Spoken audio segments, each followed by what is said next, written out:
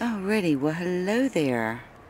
Here we are on Tuesday, May 25th, 2021 at 9.09 p.m. up here in northeastern Ohio.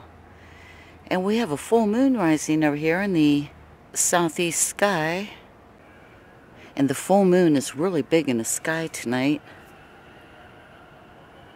Let me try to darken it up so we can see a bit of it. There we go. Now I'm not zoomed in very far because I'm on the 70 to 200 lens. Oh, let me shut this light off here. now tonight I'm only on the uh, Tamron 70 to 200 lens and we are at the uh, times 10 Oh, you know what? Oh, okay. There we go. Duh. I don't know what I was thinking there. I don't know what was wrong with me. I had it at uh, 70 millimeters times 10. and I was wondering, why isn't it bigger? it's because I forgot to put it at 200.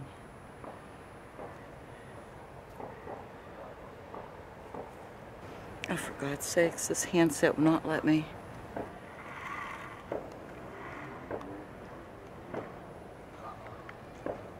Align to the moon.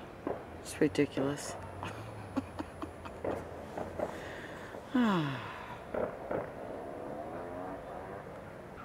anyway, tonight there's going to be a lunar eclipse. Well, it'll be pretty early in the morning, probably about um, 5 a.m. or something like that. And it will just be a partial lunar eclipse for me over here if I could see it, and I won't be able to because it'll be low in the southwest sky by that time of day.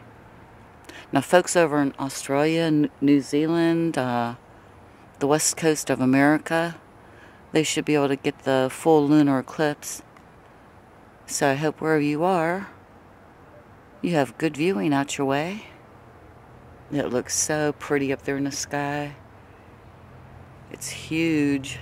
but it should be a supermoon, I believe. As it's very close to Earth. There, it finally let me align on the moon. That might do it. Alright, there's a ton of mosquitoes out here, so I'm not going to stay out long. And I'm surprised we're getting anything at all tonight.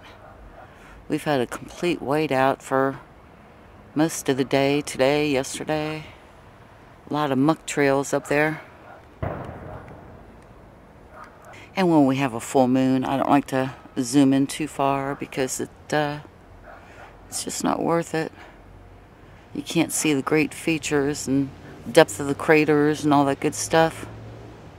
When we caught it the other day, when it was what about 63% lit that was a good phase there whoa something flew past there big blob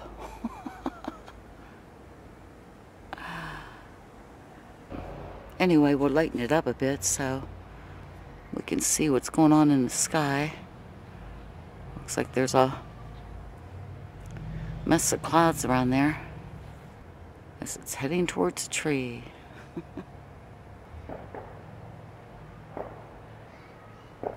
anyway, that's a good enough look. As the mosquitoes are descending upon my body. And I'm out here wearing shorts and a t-shirt, so there's a lot more skin for them to grab onto. but anyway, if you're up early in the morning, about 4.30 to 5 o'clock in the morning tomorrow, should be seeing a lunar eclipse up there as the moon turns orange. And it'll be over in the southwest sky. But it will be pretty low, I think, by the time it uh, gets fully eclipsed. So good luck on any eclipse watching wherever you are. anyway, that's going to do it.